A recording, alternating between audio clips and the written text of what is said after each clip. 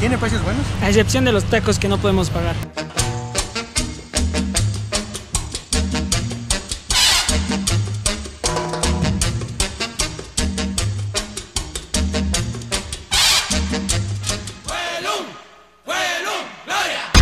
Y noches, damas y caballeros. Espero que estén muy bien y que estén teniendo un grandioso, increíble, fabuloso, estupendo, increíble. Ya dije sí día. El día de hoy, como una vez más lo leyeron en el título del video, ese título que tanto nos ayuda, vamos a grabar un video muy parecido al que grabamos hace mucho tiempo en CEU, el cual era dónde comer en CEU. Tuvo un grandioso éxito, lo agradezco. Como respuesta a ese video me pidieron el del IPN. Este video del IPN, dónde comer en el Instituto Politécnico Nacional, se puede dividir en dos partes, depende qué, tal, qué tan buen recibi recibimiento hay aquí. ¿Por qué en dos partes? Bueno, el IPN tiene dos lugares representativos. En el caso de la UNAM es Ciudad Universitaria y en el caso del Politécnico son dos. Uno sería Zacatenco y otro sería el casco de Santo Tomás. El día de hoy nos encontramos en Zacatenco, vamos a ver qué tal. Supongo que ya se imaginaban que iba a estar yo. No podías faltar, ¿verdad? En videos de comida nunca. Pues vayamos a ver qué nos podemos encontrar. Aquí en la parte de atrás está un puesto de tortas saliendo de Zacatenco, enfrentito justo, que les dicen el toldo rojo o si no le dicen por su nombre que está ahí escrito, las super tortas Los Cuñados. Es una tortería, venden tortas de todo tipo, como cuál te gustaría. De milanesa o así, de, de lo que sea, mientras no sea, mientras no lleve aguacate. La decepción. La traición, amigo. Siempre está lleno el lugar. Aunque creo que ahorita está algo vacío, pero es, es porque lo reservamos para nosotros, ¿no? Sí, ahí gastamos todos nuestros ahorros en, En reservarlo. en, reservar el lugar. Para que tengan un buen video. Pues vamos a pedir una baratis, barat, barat. Una de 25 pesos. Mmm, mmm, hasta acá me llega el olor a la pobreza.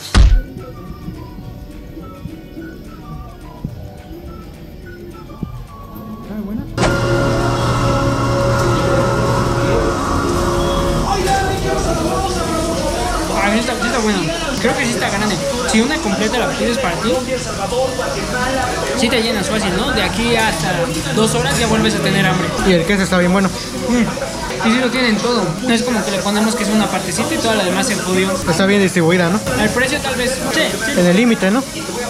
Manejan dos tamaños. El de la torta grande que fue la que pedimos es de 30 centímetros y el de la chiquita es de 15. La cosa es que sí te conviene comprar la grande porque, o sea, la chiquita que es a la mitad, básicamente 15, 30, te cuesta 40 y la grande 50. O sea, por 10 pesos mejor pides el doble de torta. Aquí disfrutando de la buena música. Se nota que el establecimiento tiene clase. Ah, la clásica para no lavar trastes. Ya después de una torta que no nos llenó, pero porque fue mitad y mitad. Y está bien, todavía tenemos un chingo de establecimientos que pasar. Ya nos salimos para ya empezar a aventar mierda, a criticarla sin que nos digan nada. Primero, el tiempo de espera. Ahí sí, sí fue un chingo. Llegamos a la 1.05 y nos dieron la torta a las 1.15. Fueron 10 minutos de espera. Sí fueron, sí fueron. Unos 10 o 15. 10, 10 o 15, creo que fueron 15, 10 minutos. Sí, nos tardamos un chingo y la torta nos la acabamos en 5 minutos. Claro, teníamos hambre, eso puede, puede contar. El siguiente punto, eh, se ve que es un establecimiento profesional. Tiene baños, tiene, mes bueno, una mesera, tiene su televisión. Está, está muy limpio, la verdad. Los precios, se me hace el de 50 pesos la torta.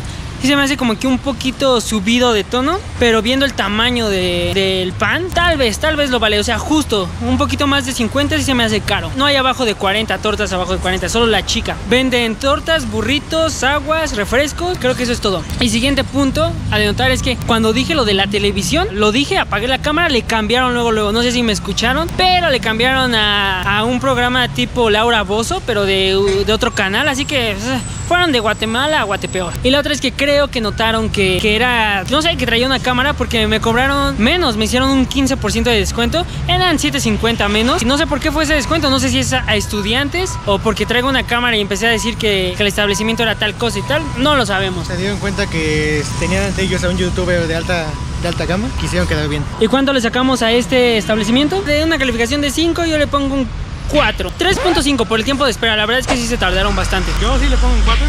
Porque sí, sí me gustó y todo. Y bueno, y, bueno sí un 3.5 por los precios más que nada. Que están como en el límite, pero sí está, está bien. Vamos al siguiente. Ahorita vamos a, al de comida china, comida japonesa creo, comida japonesa para llevar se llama. O sea, es, es buena opción, según parece que hay sushi y... Ah, bueno, comida japonesa, eso habla de todo, pues. Una, dos, tres, cuatro mesas. ¿Qué te parecieron los precios? Bien. Di la verdad. Algo que pero no podemos sacar foto porque aquí no nos paguen.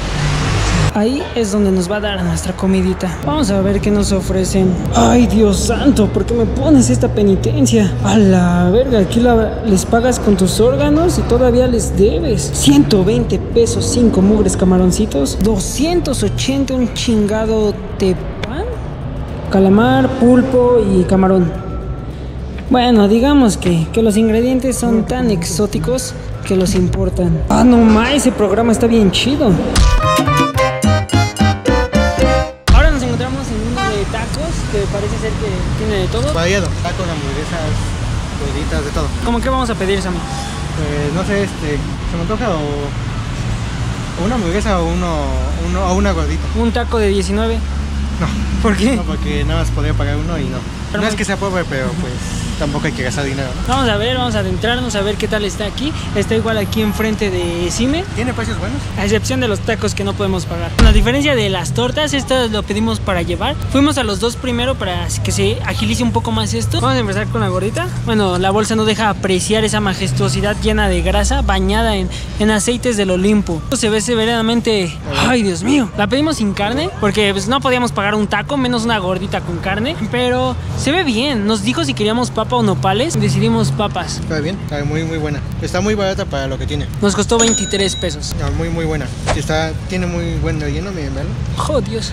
Y de sabor, excelente. Vamos a ver si a mí no, no exageraba.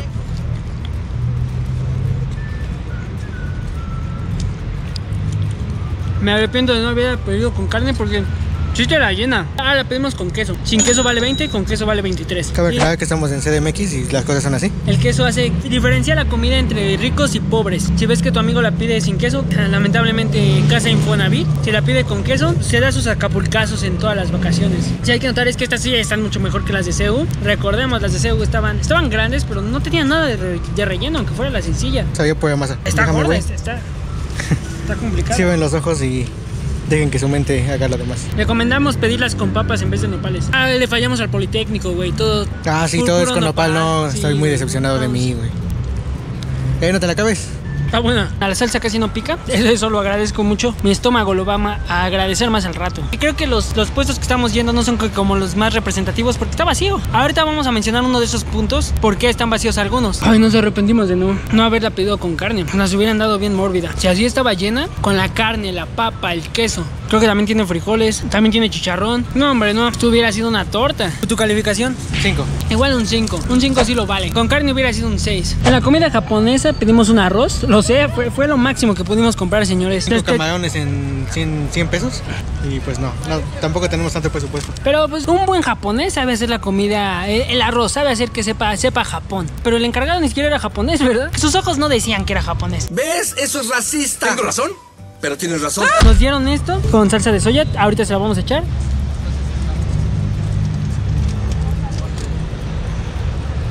Sí sabe a, Sí, sí sabe a Japón, se siente el sabor asiático. sí sabe a arroz de comida china. Supongo que eso quiere decir que está bien hecho. Pero pues tampoco es como la gran cosa. Nos lo dieron con una formita bastante bonita. Eso se aprecia mucho. Pero 40 pesos el arroz, ¿crees que lo vale? No, ¿verdad? No. 20 pesos. Con unos 40 te alcanza para esto y en más cantidad de un guisado en alguna comida china. Oye, oye, ¿por qué le vas a echar coca? Es salsa de soya. Ah, perdón. Las personas que no, no han viajado suelen decir eso. Cállate, güey, cállate. Pero a ver, creo que esto va a estar complicado. Eh, se- se se creo que me salió bien. A ver, vamos a ver el arroz. Según Sammy, se siente la japonesidad aquí en la boca. Ah, sí. ¿Cómo describirlo? El arroz japonés es suave. Como que le echaron cinco sobrecitos de mi arroz. La verdura, ¿sabe a verdura? No sabe como a la verdura de la sopa maruchan. Y está como que pegajoso, pero tampoco se, se siente batido. A ver, imagínate cómo ha de servir esos camarones. Un día tendremos que ir. Cuando el partner ya deje. Ay, está, está picoso la salsa de soya. Calificación al arroz. Contando el precio, un 3. Yo también le doy un 3, este, porque, bueno, ya lo dijiste, es un precio muy alto para la cantidad que es. Y en otros lugares con eso te compras más cosas. La verdad se mamaron con los 40 pesos. No podemos irnos sin ir a una cafetería típica de la escuela. Como pueden ver, a mis espaldas hay una. Sin embargo, acabamos de ver que hay una nueva que remodelaron, que se ve como un poco más para youtubers de nuestra categoría, ¿no? Sí, así youtubers famosos, como de más de un millón. Es esas que vieron atrás son unas normales. Ahorita vamos a ir a la, a la buena, a la que parece de Polanquito. Que, que nos sorprende la comida local de la escuela, la, la del pueblo. Uy, uy, uy. Aquí tú tienes que reservar, Sammy. No, yo ya había reservado con anticipación. Este lugar, la neta, ha sido mi favorito hasta el momento. Si hay un chingo de cosas. Para diferenciar, pedimos entre un combo y un paquete. El combo es comida americana, por así decirlo, hamburguesas, este, hot dog, papas a la francesa. Y eh, paquete es comida corrida, ¿no? Por si quieres comer bien sanamente. En el caso de que yo sí pedí comida corrida. Tú pediste el paquete, el combo número 3, que te incluía dos hot dogs, unas papas y un refresco. ¿Cómo te sientes? Está bien. Es más o menos lo que esperaba. De ese esperaba a lo mejor uno un poco más grande, pero por 35 pesos que nos costó está muy bien. El mío también nos costó 35 y vean, no es cualquier cosa. El mío te incluía una sopa, un guisado, una guarnición, tortillas y un agua. Como pueden ver, este lugar la neta se la rifó 35 pesos, muy bien. Tienen, se, se, se la rifaron. O sea, aquí nada más le hace falta una que vendan cerveza y es un bar directo de- y de Polanco, ¿eh? De- del centro. Pasaría sin pedos. Y la decoración también me gustó mucho. Unos momentos después. Sammy, pues acabó luego, luego. ¿No, no te sientes algo estafado? No, o sea, a lo mejor por las papas sí, pero en general estuvo bien. Pudieran servir más papas, ¿no? Sí, un, un puñito más o algo así. ¿Qué, qué tal los hot dogs? ¿Algo de otro mundo? ¿Normales? Normales, o sea, no, no es nada. El precio de 35 sí, sí lo Sí, sí amerita. lo vale. Te dan esa cosa. En mi caso, este ha sido uno de mis lugares favoritos. Puede que aquí venga muy seguido. Los que son de CIME, aquí me verán unos que otros días comiendo. Vendré desde mi escuela hasta acá para saborearlo. El mío sí siento que sí vale mucho el precio. Fue más que lo de Sammy, obviamente. Como fueron, fue un guisado, una sopa, una guarnición y un agua. Y tres tortillas. Supongo que va cambiando conforme al día. Te dan a elegir entre dos platillos. Tú escoges cuál. El guisado era bistec o pollo. En el caso de la sopa era macarrones con queso o lentejas. La guarnición era ensalada o frijoles. Escogí ensalada. Fitness is my passion. Calificación. 4 o 5 de 5, más que nada por las papas, que podrían haber sido más. En el caso mío, como les dije, vamos a este lugar. Increíble, yo un, un 6 de 5, señores. Un 6 de 5 sí lo vale. Dios, digo, vean estas mesas de, de caoba pura, señores, de madera importada desde Asia. Aquí vamos a dejar, dejar nuestra charolita. Aquí puedes escoger entre una mesa o una barra. Ay, Dios mío, para conectar el celular. También al lado tiene una tienda. Y aquí es donde ya está la zona fresa. Oh Dios, salimos de la cafetería con un hijo más. Su decoración un poco rústica, un poco Sí, vi- bien. vintage. En la noche pienso que se vería mejor. Voy a venir muy seguido, o sea, es que unos buenos furlocos aquí y ya se armaría chido el ambiente. Digo, digo, una... Aparte ponen reggaetón, está reggaetón, ponen cumbiones, o sea, ¿qué puedes pedir más? Bad Bunny en la escuela. ¿Qué es mejor que eso? Nada, absolutamente nada. Nada más le falta que abran un poco la pista para el baile. Es más, cuando invites a una chava, tráela aquí, créeme que no se va a arrepentir. Si te dice alguien y que he vendido a tus pies. Aquí está una cafetería este normal. Sí, ahí están las chidas para gente como nosotros. La neta, la comida ya sí está muy barata. Supongo que la única diferencia es, pues, es el diseño, ¿no? Aquí son como palapitas y allá de madera. El piso es, de oro. Ojalá hubiera en todas las escuelas. ¿Te gustaría que hubiera en tu escuela? Sí, obviamente sí. Será muy tarde para cambiarse de carrera todavía. Por este lugar lo vale. Que también tiene que es como comida es de que tiene espacio para agua. Esto eso tampoco lo tiene cualquier escuela. ¿La tuya lo tiene? No. Sammy, haznos la demostración de... Yo no sé cómo se usa. ¿Qué tal? Solo pon aquí la botella. ¿Cómo Y el botón está abajo. Pica el botón de abajo. Supongo que tiene que ser aquí, ¿no? ¿Y tú Bueno, ajá, pica el botón de abajo. ¿Cuál botón? Ese. Uy, qué tecnología, ni Dubai. Uy, uy, uy. Y es potable. ¿No es residual? No, no parece. La razón por la que Zacatenco no es como CEU es porque no es una ciudad y aquí hay varios establecimientos de comida rápida ya establecidos que es en los que la gente viene más a comer. Por ejemplo, tenemos el Domino's, tenemos ahí el Seven, eh, allá tenemos el Oxxo, allá tenemos el Chili's y más adelante está la Casa de Toño. Así que esos son los lugares que como que más se llenan de estudiantes. Por eso no se pudo grabar como un video más de comida corrida como fue en Cebu. Hizo falta más autonomía en el IPN. Y más variedad de comida. Tienes aquí la plaza. ¿Qué más puedes pedir?